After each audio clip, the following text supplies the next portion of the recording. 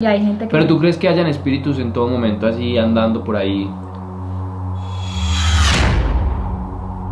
Otras personas... Bienvenidos a esa emisora 103.9. Con ustedes, Simón Pulgarín.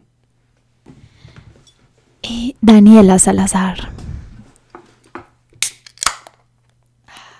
Publicidad política no paga. Mentiras. Amigos, sean todos bienvenidos Ah, a... Ay, Simón. Amigos, hoy vamos a hacer tipo un podcast. Vimos que les gustó mucho la idea. Esto no es un podcast completamente 100% real, pero es, es como los inicios. Por acá ya tenemos nuestro micrófono ASMR que suena delicioso. ASMR. En el día de hoy vamos a hablar de temas paranormales. Eh, siempre he querido acoger esa sección en mi canal y lo hicimos una vez hace rato eh, que tratamos como de, de- de hacerles creer a ustedes de que la casa está embrujada Hacerles creer a ellos o a mí. a ellos. Y a mí. Cuando me hizo la broma en Los Ángeles, ¿qué fue? Ah, también, también. Esa fue muy buena porque esa casa de verdad parecía de, de película. Pero... Sí. Pues que allá asustaban. En el baño a mí me asustaron un día. ¿Qué va? De verdad. Según Danielita, ellas la asustan en todo lado. No, en todo lado no. Yo En sí- la casa donde vivíamos antes, no, donde yo vivía antes. Se asustaban, amigo. No. Sí, allá asustaban. En, en el primer edificio donde vivía Simón, como donde grababa todos los videos de Bronación y eso, que era más antiguo, de verdad que allá sí me asustaron un día. Y si llamo ya al hermano de Simón y a la, y a la esposa, ellos van a corroborar. Porque según ellos, ellos decían que asustaban. Y ese apartamento era muy grande. Y a mí hay veces como que me empezaban esos pensamientos de que me iban a asustar, pero nunca me llegaron a asustar. Pero porque la mente es muy fuerte. Espera y verá. Hola, bebé. Hola, bebecita, ¿cómo vas? Ay, bien, por aquí estoy en el, en el cuarto. Ah, bueno, yo también. Saluda para una transmisión en vivo que te voy a hacer una entrevista muy rápida. Sara Mejía, ya no te comunicamos de 103.9 FM. Queríamos consultarte en el día de hoy si en el apartamento de Medellín asustan o no. Sí, ¿Por qué? 100% real. O sea, es verdad, asustan. Asustan muchísimo, no poquito. Le abren los cajones, abren la puerta, la tiran. ¿Qué más quieres que les cuente? ¿Qué, qué más hacen allá? Le jalan a uno la cobija, le, hablan, le dicen secreticos así. sí ¡Qué mentira! Vean. Y a mí, ¿por qué eso nunca me llegó a pasar? Porque usted hizo un Es pacto con quién sabe quién, pero allá se O sea, asustan es un, es un riesgo gigante ir al baño a Solinares solo Sí. a las 12 de la noche. O sea, yo prefiero orinarme en la cama que ir al baño allá. De verdad. Yo, yo también estoy con Dani. Pero, Dani pero no entiendo, dormía ¿qué pasó? O sea, ¿alguna vez la asustaron así? Sí. Muchas veces.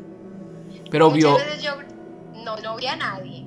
Ahí sí, pues como que no estuviera contándote mi, mi historia. Pero sí escuché muchas cosas. Y a Juan. Como si alguien estuviera, por ejemplo, si yo estoy sola y alguien está en la cocina abriendo cajones, cuando yo voy a ver a alguien en la cocina, no hay nadie en la cocina. O por ejemplo, estoy acostada viendo televisión y ¡pum! cierran la puerta. El sonito que tiene, Pum. cierran Ajá. la puerta. Y yo, ¿quién llegó? Nadie llegó. ¿Sí ve? ¿Sí ve? Bueno, Bueno, y, y Sara- a mi hermano. A Juan también lo asustaban. No, Juan, pero a Juan no le importaba. A mí era la que más me importaba. Muchas gracias por tu colaboración. Te puedes ver esta noche sintonizando la emisora de Oxígeno. 103.9. Te amo. Chao. Hasta luego, Sara. Chao. Bueno, amigos. Entonces, esperen, ese fantasma tiene un fetiche con las mujeres porque a mí no me asusta, a mí no nunca me ha asustado, nunca, o sea, Amparito. Amparito tam- eh, pero es que Amparito, amor, tú sabes que... Llamemos a Amparito. ¿Dónde está mi celu? Este no es mi celu. Amigos, la vez pasada filtramos el número de Amparito por error, pero no fue mi culpa, fue culpa de Mbappé cuando estaba editando los videos, se le fue. ¿Cómo es? y ustedes la llamaron y me, me dijo que lo estaban llamando mucho y que se metieran el dedo por donde ya saben. Sí, eso dijo. Vamos a llamar a Amparito a ver si es cierto. Segunda víctima de... Vamos a llamar a Amparito a ver si es cierto. Aló, Hola, buenas. buenas, Nos comunicamos con la señora Amparo Abreu. sí. Eh, Esta es la emisora 103.9 FM. ¿Y yo qué tengo que ver ahí? Mentiras, no, mentiras. Amparuchi. Simón, ¿por qué están cansados? ¿Qué tal mi voz de, de DJ? ¿Cómo estás? Buenísima, ¿cierto? No, pues sí. ¿Qué más, Amparuchis? ¿Cómo la trata esta cuarentena? Ah, bien, hija, aquí. Tiempo sin hablar, cuéntenos a todos. De la vecina. ¿Con la vecina? Sí. ¿Cuál? ¿Qué ¿La pasó? jiquerona? Ah, ¿La, ¿La vecina jiquerona o cuál? ajá. ¿Qué pasó? ¿Qué pasó? Pero no, eso no pasa a mayor. ¿Pero qué pasó? ¿Qué peleando con ¿Peleó? ¿Qué hizo ahora esa jiquerona? ¿Le dio por aparecer? Ah, Ay, Estaban peleando.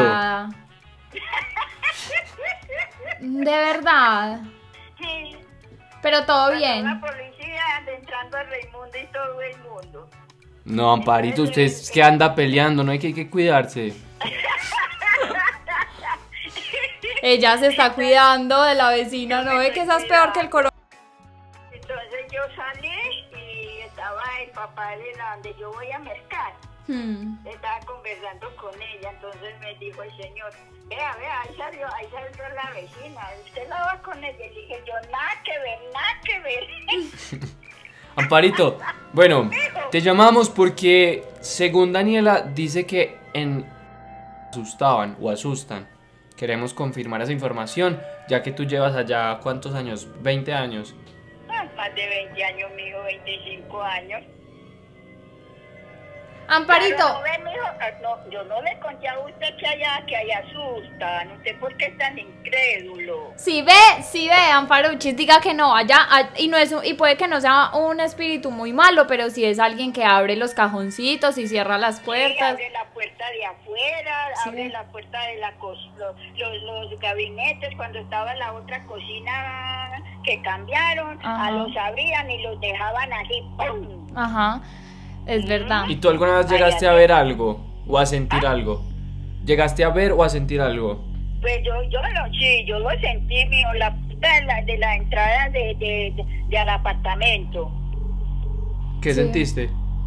Que la abren. Y esa suena con el- pues. y esa puerta como suena como pss, y pum. así, Ajá. así. Entonces yo mismo me, me, me paré y dije yo, niño, ¿por qué tan temprano no he hecho el almuerzo y nadie por ahí. Mm. ¿Sí ve? ah, niño, como- y el niño Juan Felipe también lo escuchaba y la niña, y la niña Sara. em, Julianita. ¿Sí ve? ¿Si quiere que siga llamando? Ah, bueno, Paruchis, cuídese mucho pues y, y después la llamo para que me cuente bien el chisme aquel negra. de la vecina. Chao, Amparito. Te amo, cuídate chao. mucho. Chao. Amor, necesita más pruebas, necesita, o sea, de verdad, amigos, yo les voy a contar unos casos en los que a mí me han asustado. Espere, pero quiero que cuente su caso allá. Perdón. Allá Sí. Un día, érase un 20 de abril del 2017 y Simón y yo estábamos empezando, mentira no amigos, no me sé la fecha exacta, pero Simón y yo estábamos empezando nuestra relación y él estaba en la cocina y yo sentí como de eso que yo, el cuarto de Simón era acá y se veía el corredor, ¿cierto? Y yo estaba como en la esquina de la cama sentada y Simón estaba como en la cocina, era de noche y yo sentí que alguien literal salió del cuarto de al lado de Simón, que era como la puerta así, como que salió muy rápido y se metió al baño y cerró la puerta y yo, amor, y Simón estaba en la cocina. ¿Y tú me dijiste? Yo te, amor, pues obvio, casi no duermo, no se acuerda.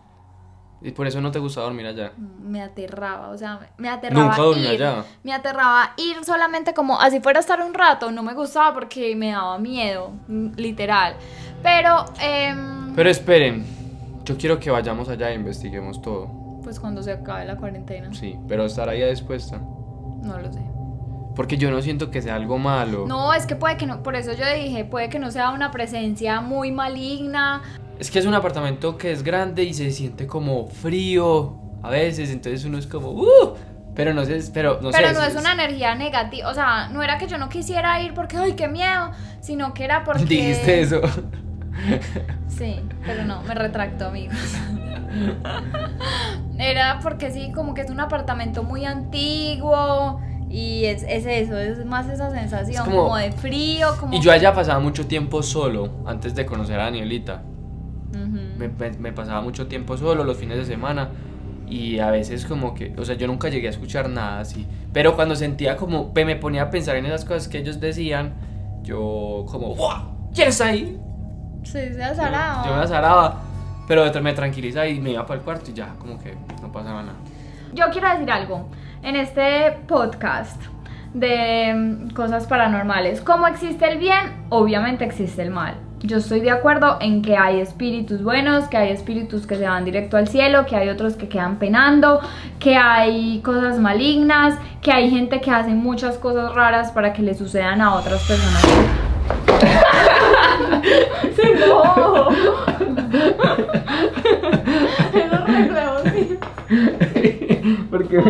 ¡Changón! Ay, no, ya no quiero hablar, me retiro más bien de este podcast. siga pues con su historia. No, no es mi historia. Todavía ni siquiera ha llegado a mi historia, Troilo.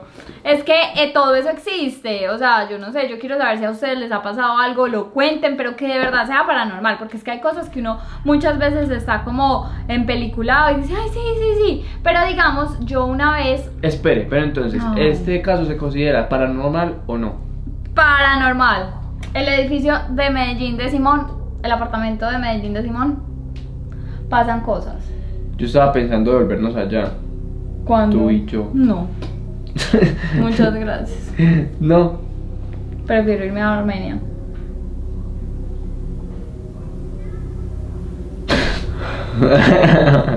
Tan asustadiza. A mí me da demasiado susto como esas cosas así. Bueno, eh, entonces ahora sí, comencemos. ¿Quieres empezar con tus historias o No, quieres que cuen- empiece con cuéntame tú con tu super historia. Simón no tiene ni una historia para nosotros. Sí, amigos, vean, imagínense que yo vivía en una finca en Pereira donde habían brujas. Bueno, eso era lo que decía el vigilante. Él nos contaba que... ¿Que qué? Que lo mismo que los perros ladraban, como que... Como de una... Dicen que los perros ven cosas. Él decía eso porque, o sea, mi casa quedaba por allá y, y más allá había como la piscina y todas esas cosas. Y por ese lado estaban como perros que cuidaban la casa. Entonces, que ellos ladraban mucho como por esos lados, a nada. Y nosotros antes chiquitos íbamos a jugar por ahí. Entonces, como que comenzamos a hablar de esas cosas, a ver si, si pasaba algo. Pero no, nunca me pasó nada. Gracias. No tengo historias por contar. No, sí, sí, espere. Eh, habían, había, yo, yo tenía un amigo de la infancia y él decía que habían duendes y que esos duendes como que lo convencían a las personas de, de irse por un camino o algo así todo raro y que se iban y se terminaban perdiendo y que ya no sé. No. Si yo voy a hacer un podcast con Simón, me muero de hambre, amigos. Pero bueno. Pero espere, espere, tengo más, tengo más para contar. Una vez estábamos aquí, en este mismo lugar. Y yo me paré a las 3 de la mañana, 3 y 33. Me paré. Fui al baño. Y ahí estaba. El Danieli- niño. Danielita haciendo popó. Sobre todo yo a esa hora haciendo popó. No, amigos, mentiras. Em. Ay, pana. Yo no tengo muchas bueno. Eso fue tenebroso. Ah, tenebroso. ¿Yo qué hago? Yo tengo más cosas alegres por contar. No sé, soy un espíritu muy bueno que atraigo buenos espíritus. Lo felicito. ¿Sabe qué? ¿Qué? Yo siento que yo tengo un ángel de la guardia. Guarda. Guardia. Yo tengo dos. ¿Sí? Bueno, yo tengo 100. Mentiras que no, pero no, siento que hay como que hay algo ahí que está detrás de mí siempre como Porque yo voto algo y de una, pum, me aparece. O hago algo tan y como que. No sé, es raro, pero bueno. Esas son mis historias. Bueno, no, a mí la verdad tampoco me han me ha pasado algo así como súper paranormal, pero sí tengo como muchas personas conocidas que les ha pasado. En la familia de una prima mía había una niña súper chiquita que veía como las personas que se morían. Entonces en la familia de ellos se murió, y era una niña súper chiquita, como de cuatro años, y se murió en la familia de ellos como un, un tío o algo así. Y un día estábamos jugando con ella en la casa de ella, mi prima que era de mi misma edad y estábamos ahí con la niña, cuando ella se fue y se paró en una esquinita de la casa sola. Y ellos tenían un perro, pero el perro era grande, ah, era un labrador, está, un perro grande como de la casa que estaba siempre afuera y en ese momento entró al cuarto y se fue para donde la niña y empezó a ladrar. Pero la niña literal se puso en una esquina que era como mirando solo una pared, pues como así, ella se paró ahí, era ahí paradita y mi prima la empezó a llamar como ven, ven, ven. Entonces ella como que no le respondía nada a mi prima y el perro ahí ladrando y ya llegó la mamá. Y cuando la mamá fue y la, la vio, ella se volteó y le dijo, mira mami, ahí está el tío Pepe. Pues así le decían al tío. Que se murió. Sí. Y ella duró por ahí, sin mentirles, les digo que ella se quedó ahí por ahí tres minutos solamente mirando así, mirando así para, como para la pared que no había nada y el perro ahí ladrando también. Y cuando llegó la mamá, eh, la mamá como que ¿qué te pasó? ¿Qué te pasó? Y entonces ella se volteó, pero no, súper tranquila, como riéndose, como, mira mamá, ahí está el tío Pepe, y nosotros... Pues nos dio mucho susto. Esa fue una. Y la otra cosa, ¿Será que hablar de esos temas no, no diga eso, porque estamos con Dios y no vamos a... Eso no, solamente estamos contando cosas. Y la otra cosa, esa sí me pasó a mí. Em, unos familiares como lejanos los mataron. Eran dos hermanos que mataron el mismo día. Entonces, bueno, eso fue como súper traumatizante. Yo, estaba, yo tenía por ahí 12 años. Y desde el día que los mataron, yo todas las noches durante una semana empecé a soñar con ellos. Pero no soñaba cosas malas, sino que soñaba que ellos me decían, Antes. no, después de que los mataron. Yo soñaba que ellos me decían, eh, dile a la esposa, dile a Pepita que vaya y mire en la chaqueta. Dile a Pepita que vaya y mire en la chaqueta. Y yo súper preocupada porque pues eso acababa de pasar y, y todo el mundo estaba como súper en shock porque tuvieron una muerte súper fea. Y yo le conté a mi mamá. Y mi mamá un día como en una novena que hacen como a las personas que se mueren, le contó a la esposa y le dijo, ay no, mira, yo no sé, te voy a contar esto, bla, bla, bla. Daniela no hace sino soñar con ellos. Y le dicen que miren la chaqueta. Eso pasó como a las 5 de la tarde. Como a las 8 de la noche llamó la esposa llorando a mi mamá, pero así atacada, que había visto en la chaqueta y en el bolsillo había una carta. ¿Qué? Nada. Que había visto en la chaqueta y que en el bolsillo había una carta que le había dejado a él. O sea, él se comunicó conmigo por sueños. Qué miedo.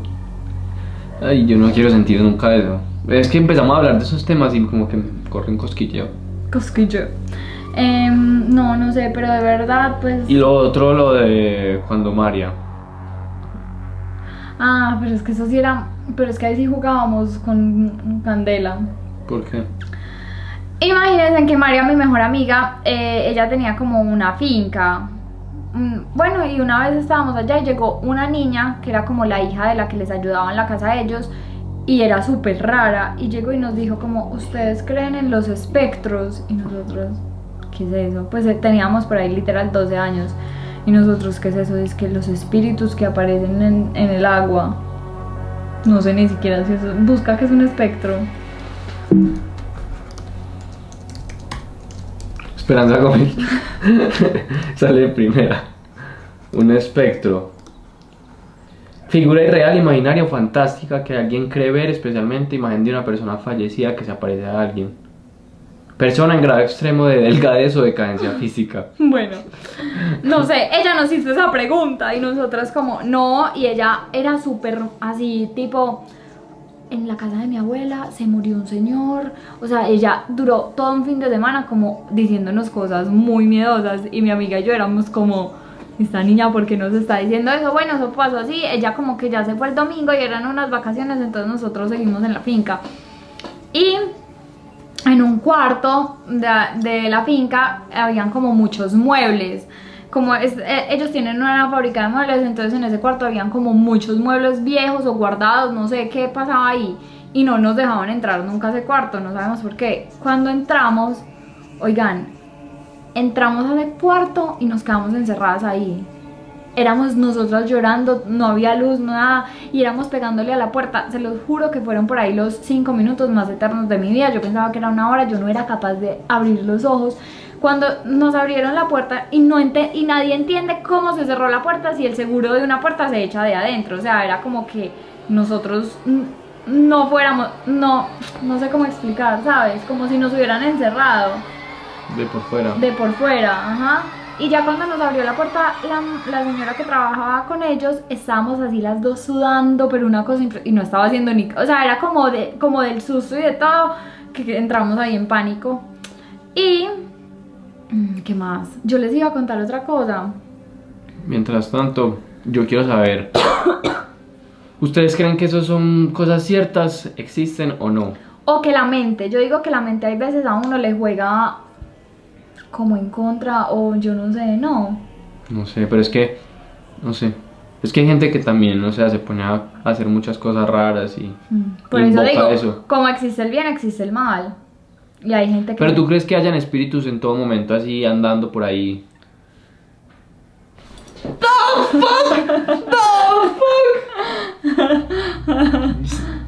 ¿Saben qué, qué hago cuando pasa eso? Yo soy así, ya. ¿Qué alguien está ahí? ¿Ah? ¿Ah? No, no, no, no, pues yo digo que sí, obviamente, como dije, o sea, hay almas que se han ido al cielo súper tranquilas y hay otras muchas almas que quedan penando y que quedan acá en la tierra y que no se pueden ir y que seguramente sí quieren decirle cosas a sus seres queridos o cosas a personas cercanas de sus seres queridos, eso lo tengo 100% claro. Es más, cuando yo les conté que a mí se me murió un novio, cuando él se murió yo me empecé a leer un libro que se llama Experiencias con el cielo. Exper- yo me empecé a leer un libro que se llama Experiencias con el cielo, que es de una doctora que literalmente habla con las personas que se han muerto y Ah, a tú me ella- dijiste que fuiste a hablar con. y a ella se le aparecen y a ella, bueno, y son cosas muy lindas porque son cosas que a uno le, le dicen que uno le llegan al alma que uno dice como es verdad, o sea, cómo ella iba a saber esas cosas que solamente sabíamos esa persona y yo o cosas así. Entonces yo definitivamente sí creo en que obviamente hay almas que están por ahí penando y que mm, sí hacen mal o que, o que se quieren como hacer, Expresar. ajá, o hacer notar por algún medio y por eso mueven cosas y por eso muchas cosas. Pero también creo que si uno tiene a Dios en el corazón, pues como que todas esas cosas bloquean. No. ¿Tú qué ibas a decir? ¿Otra cosa? No, no sé. No me gusta hablar de esos temas. No, ya. Entonces, ¿para qué quería abrir una sección? Porque me gusta, pero no me gusta, porque es como el morbo. Pero sí, me gustaría escucharlos a ustedes si tienen historias un poco más pesadas, porque las de nosotros, o sea, no son así de la cosa más loca. Y digamos, me gustaría mucho investigar lo del, apar- lo del otro apartamento. No, pero a mí esas cosas sí no me gustan. Pero a mí me pasó otra cosa. Ya me ¿En acabo dónde? de acordar. Súper. ¿Pero en? Armenia. Eh, cuando yo vivía en Armenia, los viernes o los sábados, yo no era de salir mucho, sino que uno como que iba a comer con los amigos y después había como un barrio que se llamaba La Castellana y uno se iba como y se sentaban esquinitas. Entonces habían, uno estaba en una esquina y pasaba alguien en el carro y se parqueaba ahí, hablaba con uno, bla, bla, bla, y habían otros en otra, así. Y estábamos en una esquina y había un edificio. Cuando estábamos como cinco amigos. Y uno dijo, mira ese señor tan raro, lleva un montón de tiempo allá parado. Entonces todos como, ay, sí, tan raro, listo, normal. Vean, se lo juro, se me aguan los ojos, fue súper impresionante. Cuando listo, pero de verdad que él dijo, yo no les quiero, pues como que no les quiero decir, pero ese señor está ahí parado hace como desde que llegamos y llevábamos por ahí una hora y era una ventana como con una persiana de madera así que se veía solamente como la sombra de él ahí parado pero no se veía bien la cara y estaba todo el apartamento con las luces apagadas. Entonces nosotros como pucha bueno ya y le dijimos a él como ay mate no pues como no diga bobadas listo eso se quedó así. Como a los 20 minutos ya veíamos un man y una vieja pues como dos sombras ahí parados. Y fuimos al portero y le dijimos como, ay, ven en ese apartamento tan, eso se quedó así. Él nos dijo, no, ahí no vive nadie. Nosotros como, pucha, como no, pues, o sea, todos lo veíamos y se veía demasiado bien. El caso es que yo llegué a la casa y yo le conté a mi mamá, porque ahí, o sea, como que en ese barrio era como que vivíamos todos, digamos, ese edificio era acá y aquí en la esquina vivía yo, y por lo general como que uno sabía quién vivía en esos edificios, entonces yo, bueno, no, yo no le conté a mi mamá ese mismo día porque yo llegué tarde, pero le conté al otro día, y ella me dijo, ay, gorda, ¿cómo así? Me dijo, ¿en qué, en qué apartamento? Entonces, listo, yo le dije, pues como que al otro día cuando salimos yo le mostré, y ella se quedó callada y no me dijo absolutamente nada. Otra de las amigas con la que yo estaba ahí, la tía como que eh, decora apartamentos, los remodela. Ella me llamó llorando, como se los juro, como a las dos horas. Y me dijo, Dani, mi tía está remodelando ese apartamento y me dijo que lo acaban de comprar y ahí vivían una familia, como el papá, la mamá y la hija. Y el papá y la hija se accidentaron yendo de Armenia a Cali y se murieron y estaban remodelando ese apartamento. Entonces que la tía le había dicho que, pucha, que habían sentido unas cosas impresionantes cuando habían empezado como, pues porque habían tumbado como varias paredes y habían hecho varios cambios, que habían sentido unas cosas súper fuertes en el apartamento. Entonces, en conclusión, literal vimos al papá y a la hija. Y cuando yo le conté a mi mamá, ella me dijo, no, yo no dije nada, pero pues yo sí sabía que había sido la hija. Entonces, literal, yo quedé en shock porque es que, oigan, eran, o sea, primero el papá así parado y después la, la, mujer, o sea, pero no era una niña como chiquita, sino que era ya una niña como de mi edad, pues no sé, de mi edad en este momento, adulta, una mujer adulta. Entonces, te pasaron muchas cosas. No, y ya me acabo de No. la de Atlanta que mi mamá una vez no te contó? Ah, sí, la de la señora que se suicidó, sí ese día también, uff. Pero tú lo sentiste. Mi mamá y yo lo sentimos. No, amor, lo sentimos todas. Les voy a contar ya la última. A mí sí me han pasado muchas cosas, de verdad. Mm, estábamos en Atlanta, en la casa de una amiga de mi mamá que trabaja en una casa como es la ama de llaves, pues la literal la que les hace el aseo en una casa de una gente que tiene demasiada, demasiada plata. Y el señor de la casa se había suicidado hacía como tres meses. Y ese fin de semana que fuimos, eh, ella estaba sola en la casa, entonces bueno, ella nos hizo el tour por toda la casa, nos mostró y era ahí, es que, vea, este es el vestir del Michael, que yo no sé qué, pues el señor se llamaba así, literal, nos hizo un tour por toda la casa, un house tour, literal, por toda la casa, por todos los por todos los cuartos, por todo, todo, pero era una casa de esas de Estados Unidos, literal, mansión así gigante. Cuando terminamos el recorrido, eh, nos hicimos como afuerita en una mesa y ella hizo comida y estábamos comiendo y literal es, pasó así. Mientras íbamos haciendo el recorrido por la casa, ella iba prendiendo las luces y las apagaba apenas salíamos de cualquier cuarto, porque como era una casa tan gigante, pues ella ya no iba a ver nadie por allá. Y ella hizo demasiado como aclaración en eso, pues como que literal apagábamos las luces de todos, todos, absolutamente todos los cuartos. Cuando llegamos al cuarto de la hija, ella dijo como, ay, este es el cuarto de Nicole, él moría por ella, ya era su adoración, y la niña tenía en el cuarto como un, como antes de entrar al cuarto había un estudio, ¿cierto? Era como un pasillito, un estudio, y había una ventana y después el cuarto de la niña. Entonces ahí la niña tenía como el escritorio y la ventana. Listo, cuando salimos de ahí lo apagó, entonces ella dijo como que él le encantaba sentarse acá a leer libros con, con Nicole, que yo no sé qué. Cuando, oigan, nos hemos ido a comer a la mesita de abajo y daba literalmente como toda la casa así y la ventana de esa que les estaba hablando quedaba ahí. Y mi mamá estaba sentada acá cuando llegó y dijo, acaban de prender esa luz o sea, la luz de, el, de donde ella nos había dicho que a él le encantaba leer con la niña.